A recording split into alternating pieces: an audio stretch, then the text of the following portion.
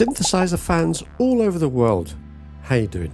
Marty here back in the man cave with my friends at Gig Performer and Cherry Audio. In this video I'm going to show you how Gig Performer can be a phenomenal virtual workbench where you can place all of your fancy Cherry Audio synths, connect them up any way you like, control them any way you like, layer them up, split them across the keyboard, sync up apps and drum machines and all that kind of stuff, and even be able to choose a bunch of presets all from different synths and save that as like a mega preset where you can dump that where you can dump that anywhere you like into a rack space and start playing with it immediately.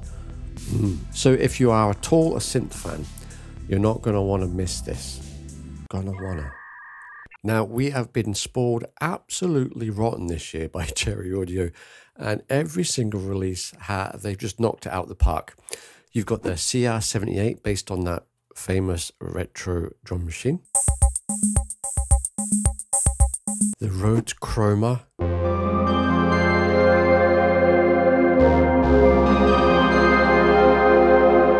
The Wurlybird 140B, which is a phenomenal Wurly emulation.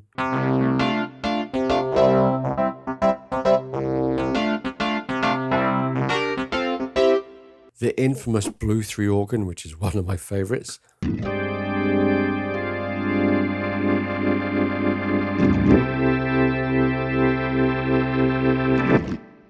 The snarly, angry little puppy that is Atomica.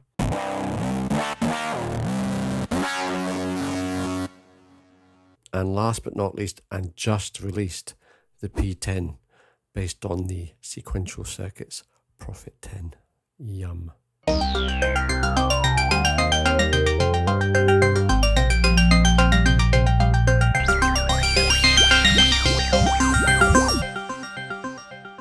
Cherry Audio, I've just released SynthStack 5. And so not only do you get all the gorgeous synths from SynthStack 4, you now get all of these brand new releases in SynthStack 5. Huh? Playing around with these on their own is fantastic fun.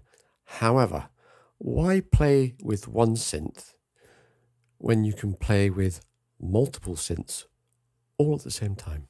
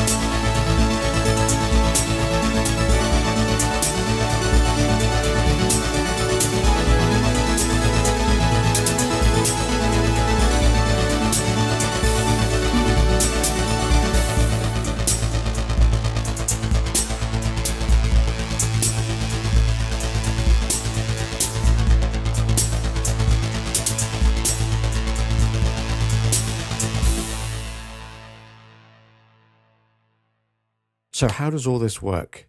We do all this in a rack space. Now, a rack space basically is, like I said earlier, a virtual workbench where you can place all your synths, connect them up, and all that malarkey. Here we have a simple layer, two instruments. And in the wiring view here, you can treat that as like the back end of the rack mount. This is where we plug stuff in. We have two of Cherry Audio synths here, the Chroma and the gorgeous P10. The red MIDI in block is basically your controller. And these red cables here, I'll just take one away. These are your MIDI cables that are plugging into your synths. And after all these years, I still never tire of drawing these bad boys in. On the other side of your instrument block here, you have your audio outputs. And this is where you can route your audio wherever you like. So as a summary, here's your controller, we have two virtual MIDI cables going into each synth, and then the audio from those synths are going into a mixer and then going out to your speakers. And how do you actually choose one of your synths? Right click anywhere on a blank space, and you'll get a list of all your VSTs, and you just simply choose one. Let's go for uh, that gorgeous drum machine, CR78. up it comes, and there's your block. So let's have a listen to this simple layer. And as I play, I'll talk you through what the controls are doing. Very self-explanatory, to be honest. Here's a P10. And this slider here is set up for volume for the P10.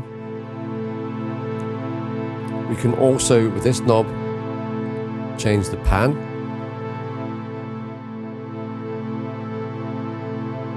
And this knob here is altering that cut off. And why not hit some phaser with this button here.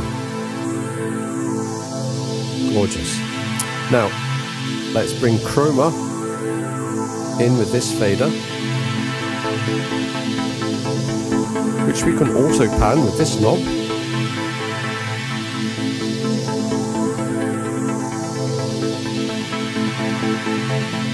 and change chroma's cut off with this knob.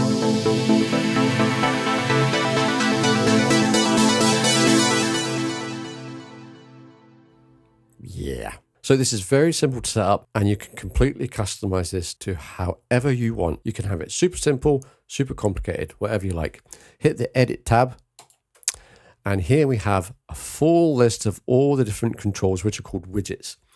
Uh, you've got knobs and sliders and buttons and lions and tigers and bears, oh my. So let's quickly add a control. Let's bring a, a metal knob in. There we go. We can resize like so. Now you only have basically two things to do. You need to get your controller to control that knob, which we'll do now. Very simple. Go down here where it says learn and turn a controller of your choice. And instantly that recognizes that. And we've got our controller turning our knob or our widget. There we are. Now the next step is to get that widget to control literally whatever you want. Highlight the widget, the knob, and go down to the bottom right here and choose what you would like to control. Now the simplest way to do this is to click learn parameter and it brings up your synth. Now all you have to do is basically choose the control that you want that widget to control and wiggle it a bit. So just for randomness sake, I'm going to choose the high EQ control there. There we go. And you can instantly see it turning. Now you've got fancy stuff like um, shapes and text labels. I love these tape labels, a bit of masking tape that you can write on. There we go. Look at that. now let's quickly have a look at a split because you set that up slightly differently. Here's the split here.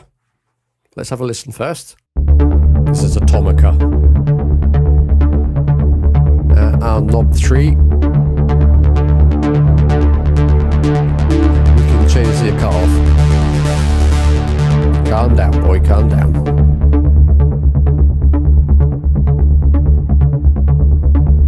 the right side of the keyboard, we have the GX80.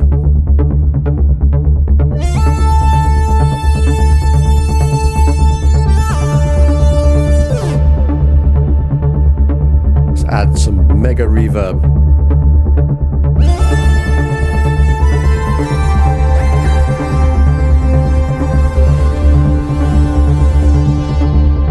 And I've also added some drums with a button.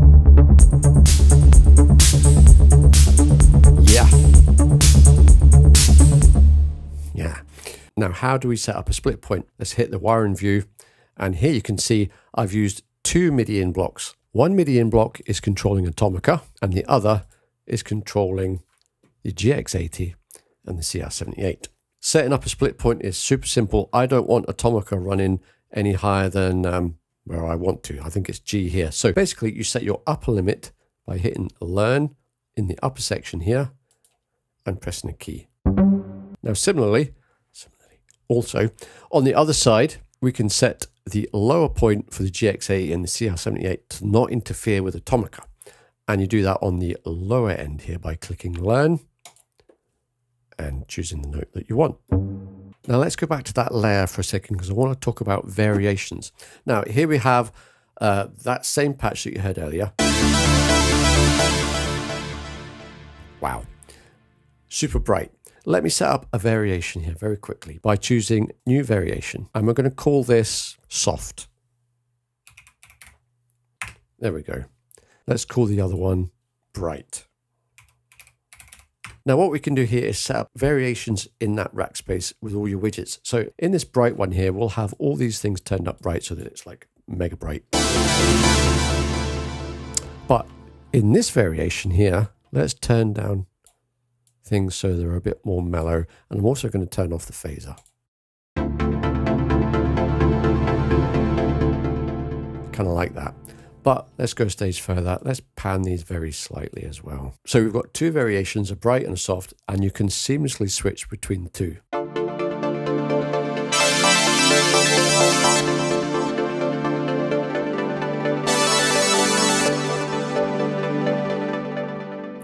And you can make up as many variations as you want. Fantastic. Now we're going to go back to that mega synth patch that you heard right at the very start. Here's that one here, you know, with all the drums and stuff. That particular humongous patch has four of Cherry Audio's synths going on, and I love the way all that sounds, but I want to leave the drums out and save this as a mega preset. Let me just drag the drums out the way just for a second. All we need to do is highlight the sections that we want to save. So we've got the MIDI in block saved and three of those synths without the drums. Right click and save as a favorite. And you can call this whatever you like. Save it. Say we go back now into that other layer. Highlight some blocks and delete them out of the way. Right click and choose favorites. You'll now see Humongotroid. And wait for this. It's brought up all of those synths and all of those presets baked into one big mega preset. And then you can just connect these up any way you like. I'm just going to quickly put that into that four channel mixer and you can hear that preset is there instantly. So much of a time saver. Wow. Boys and girls, let me introduce you to the Mega Knob. Basically, I can control a whole bunch of widgets with just one knob on my controller. What's happening here is because each widget controls literally anything you want, you can map those all to one controller like I have here and control all different types of stuff all at the same time with just one controller. Now, in this instance, I've set up these dials here to control the tuning of all these four synths. And over here, these dials here are controlling the pan. And there's some frequency cutoff resonance type stuff going on with the sliders. And they're all getting sorted out by just that one knob. And it gives you Something like this.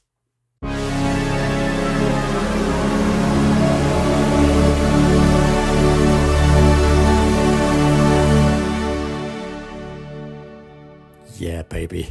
So why am I showing you all this? Well, when you go and purchase SynthStack 5, you'll get your very own version of Gig Performer for free. It's called Gig Performer.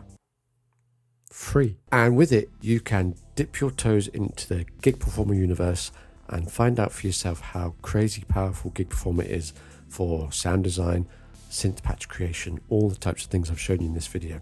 And if that isn't enough, if you already own the full version of Gig Performer, head over to the partner section on the website. You can get discounts on SynthStack 5. Vice versa, if you buy SynthStack 5 from Cherry Audio, you can get discounts on the full version of Gig Performer. And if you think Gig Performer free is pretty powerful, wait to see what the full version can do. Now, remember to hit those links below for more info. And until next time, I'll see you later in it.